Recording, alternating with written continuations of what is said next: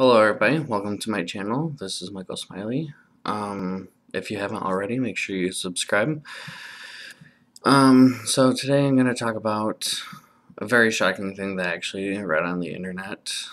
Um, I think it was yesterday. And I read some more articles about it today.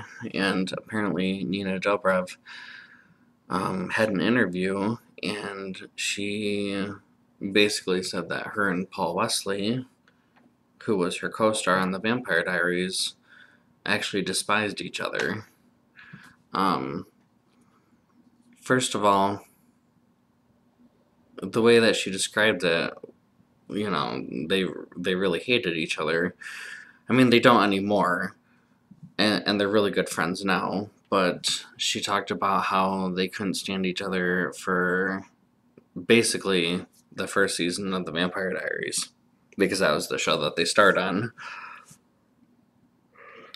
And that's really shocking to me um, because they have they had and they have such great chemistry and that just goes to show um, their acting abilities because they had such chemistry that you would not even think for a second that they hated each other um, because they got along so well while they, you know, for the show. And, um,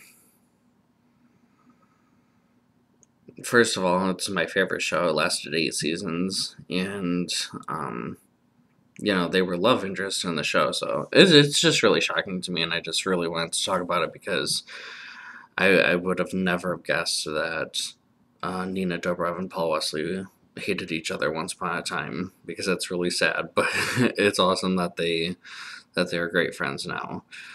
Um, but again, that just shows that they were absolutely professional about it because there was z- literally zero hint that they didn't like each other with the chemistry that they had on the screen and everything um, I would have never guessed. So I just wanted to talk about um, some hot topics today, and that was one of them.